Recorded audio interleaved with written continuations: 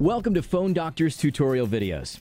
In this video, we'll show you step by step how to repair the iPhone 5C full teardown. On a scale from 1 to 10, this repair difficulty is rated a 9.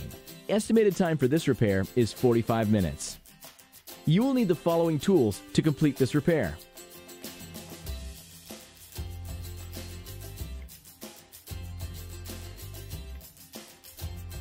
Don't forget, with the original ScrewMat, you will never lose a screw again. ScrewMat is available for most popular Android and Apple devices. For all your DIY kits, screw mats, and repair tool needs, visit us at phonedoctors.com. Use coupon code iPhone5C110 and receive 10% off your entire purchase. You can also find and visit us on all the popular social networks. Now, let's get started on the repair. Step 1 Ensure your device is powered down.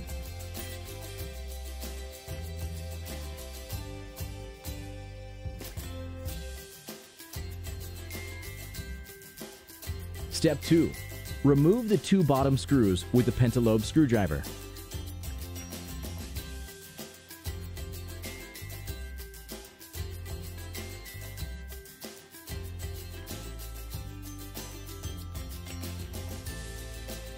Step 3. If the glass of your device is shattered severely, it's best to use a suction cup to pull up the screen. If the digitizer is badly shattered, it's best to use the metal spudger tool.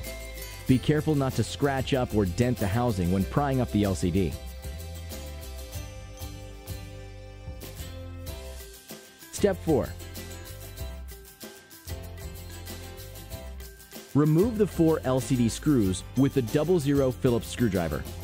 This is so you can unplug the LCD digitizer flex cables.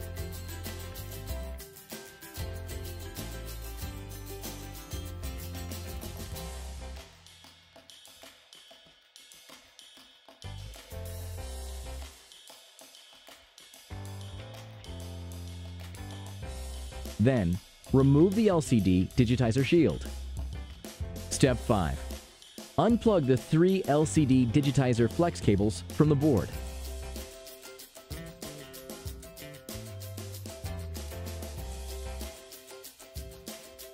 Step 6. Remove the two Phillips screws to remove the home button flex.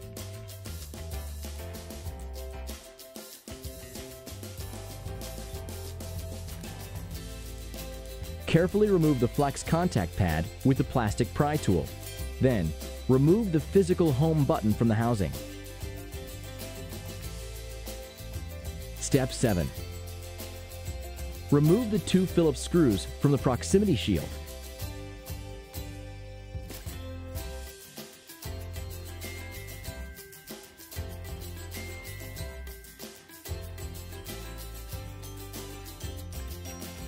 Then remove the shield. Step 8. Remove the ear speaker. Step 9. Remove the flex safety tape.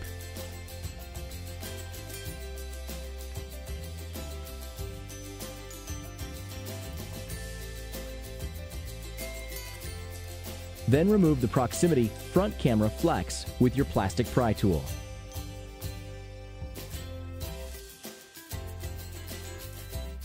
Step 10. Remove the six Phillips screws to remove the LCD shield from the LCD frame.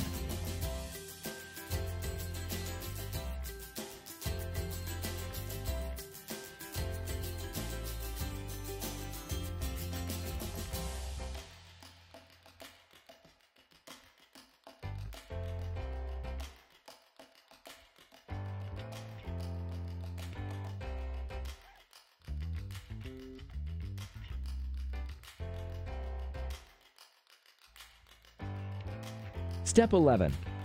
Remove the SIM card before going any further.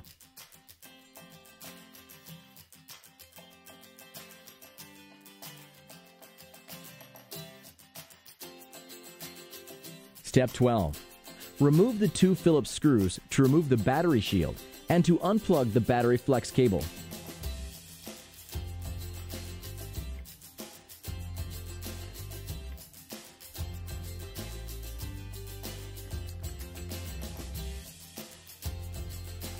Unplug the battery flex.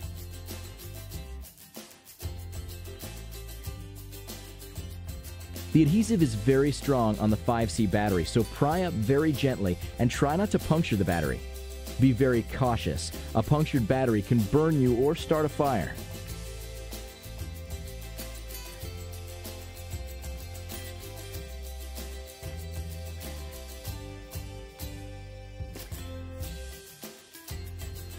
Step 13.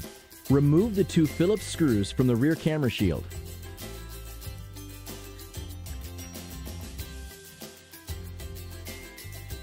Remove the shield, then remove the camera.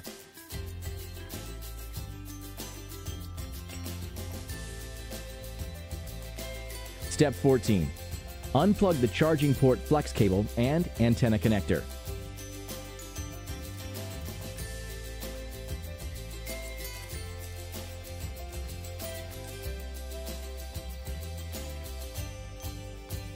Remove Phillips screw from the ringer speaker and pry up the ground connector and home button contact prongs.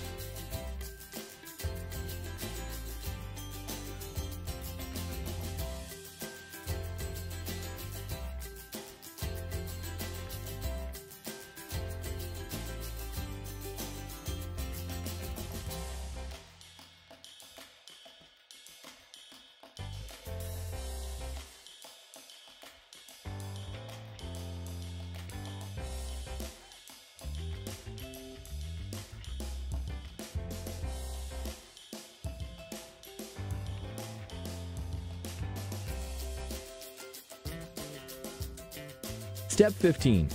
Remove the ringer speaker.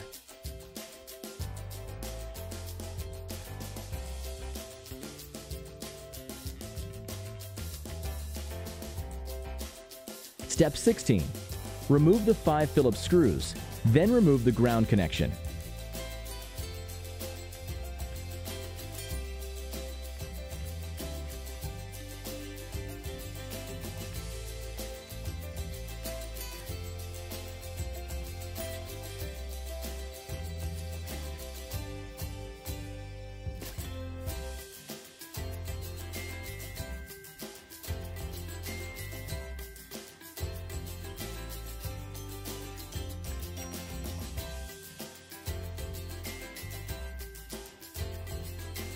Then, gently pry out the charging port, mic, headset, jack assembly.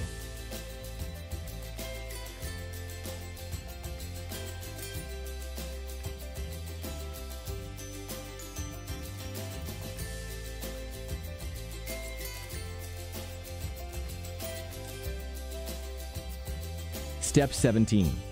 Remove the vibrator shield by removing the two Phillips screws.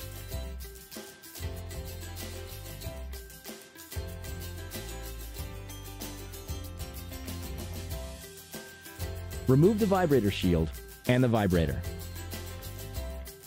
Step 18. Remove the four special screws from the board with a flathead screwdriver.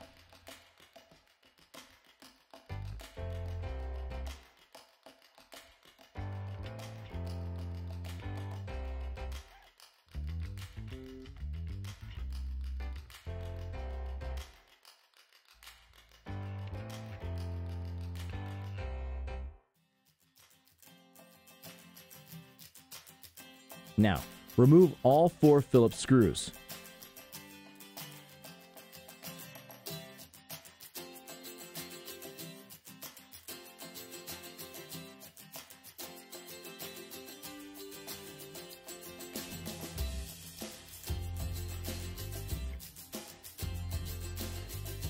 Unplug the power volume key flex and the Wi-Fi antenna connector.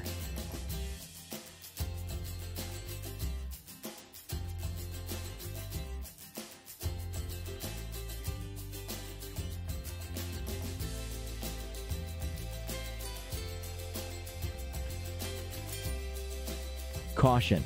Be very careful when unplugging this antenna connector. The connector has adhesive, so be careful prying it up. Remove board. Step 19. Remove the upper mic shield and remove the Phillips screw.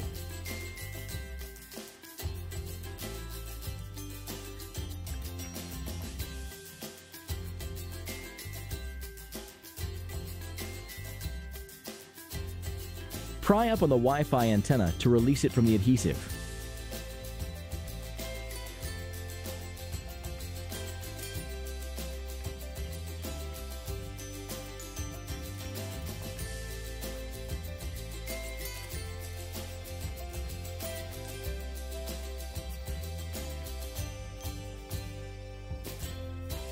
Step 20.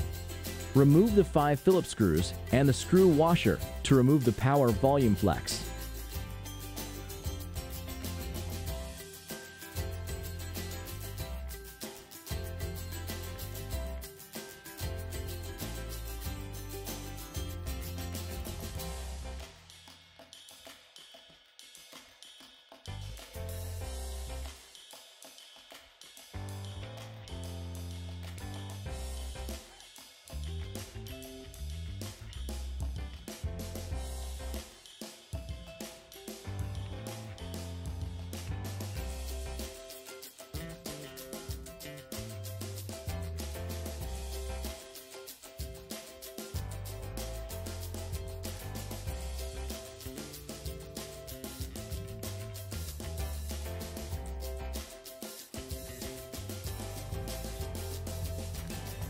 Once the screws are removed, remove the ground connection next to the power button, then gently pry up the flex cable and remove the physical power button.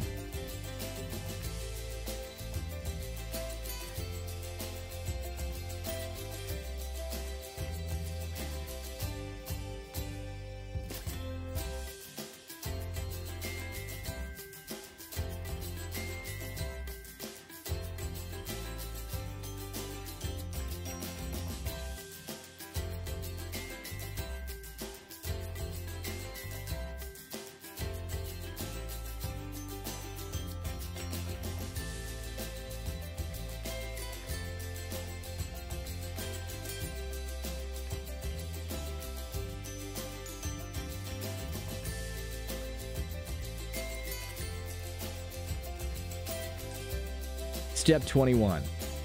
Insert the physical power button with metal anchor point down. Align the power volume flex on the existing adhesive path.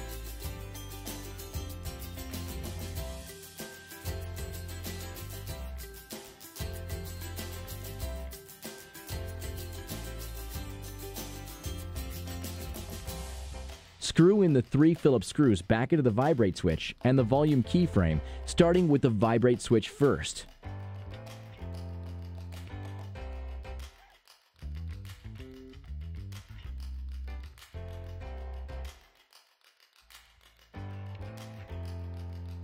Align the top ground connection before aligning the power button frame.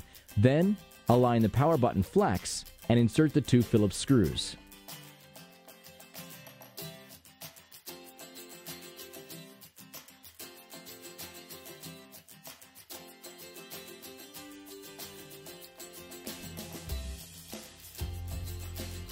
Step 22. Align the Wi-Fi antenna back in place and insert the Phillips screw. Set the upper mic shield back on the power flex. Step 23. Plug the Wi-Fi antenna connector back on board before reassembling. Set board back into housing.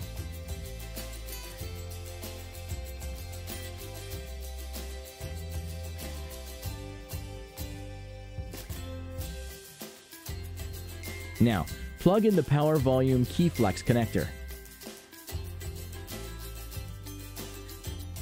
Screw the four special screws and Phillips screw back onto the board.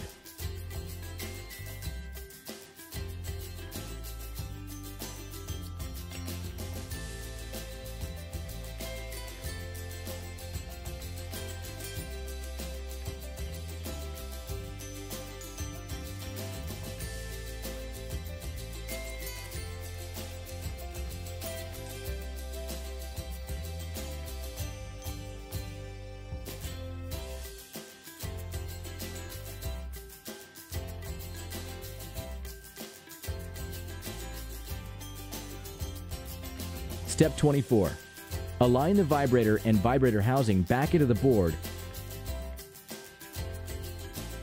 and screw in the two Phillips screws.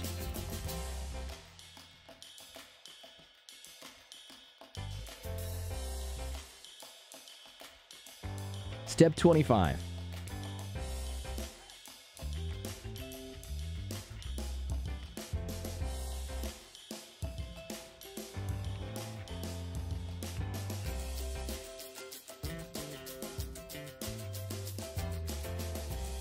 Insert the five Phillips screws.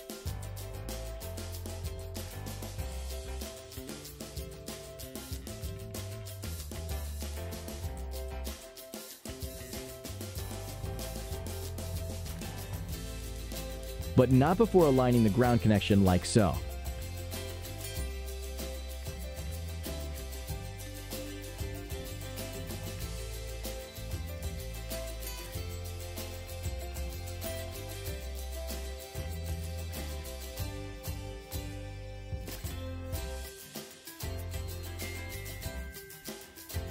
Step 26.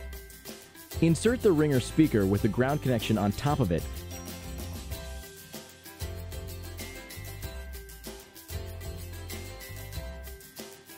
Then insert the two Phillips screws into place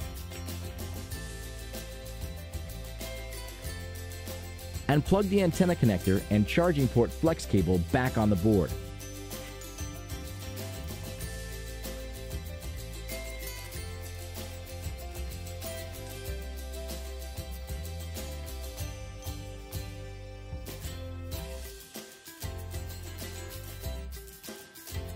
Set the home button connection prongs back into place.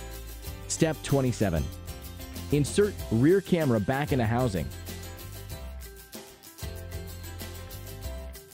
Align camera shield and insert the two Phillips screws.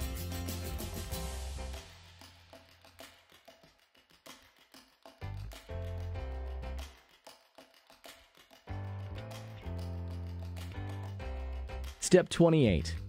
Insert battery and plug in the battery flex connector back to board.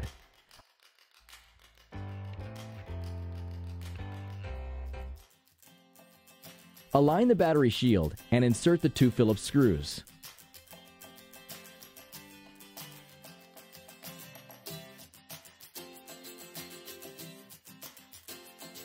Step 29. Insert the SIM card tray. Step 30.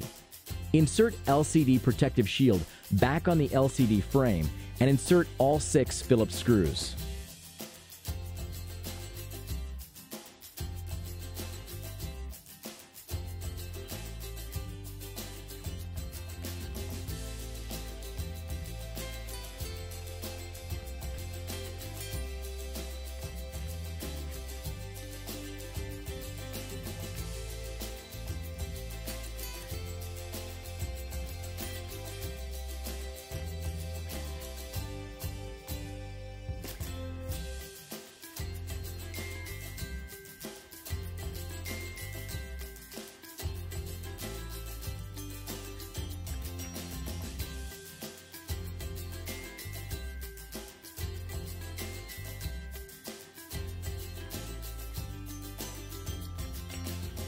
Step 31. Insert the proximity front camera flex back into the LCD frame. Make sure it's securely inserted or your proximity sensor will not work.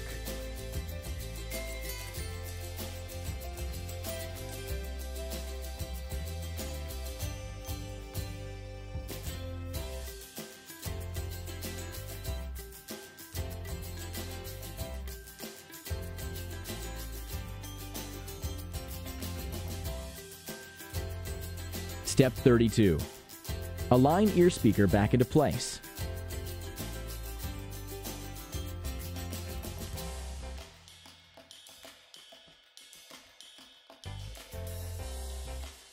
Step 33.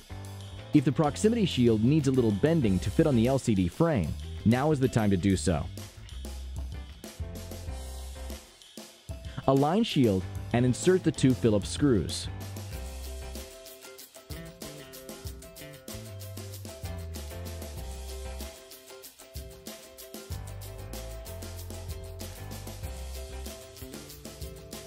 Step 34.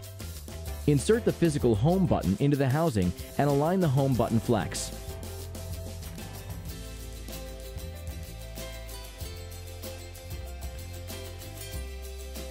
Align the home button shield and insert the two Phillips screws.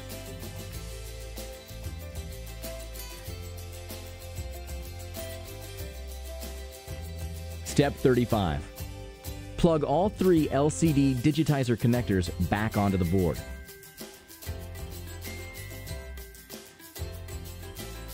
Align the shield and insert all four Phillips screws.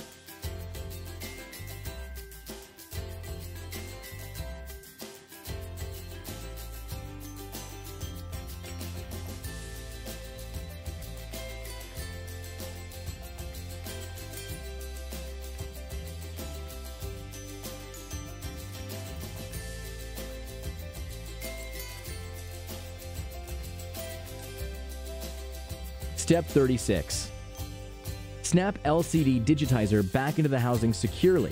Make sure everything is flush with the housing. Step 37.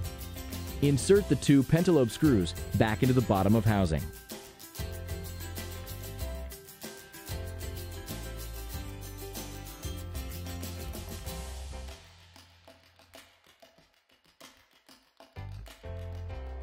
This is the end of the repair video.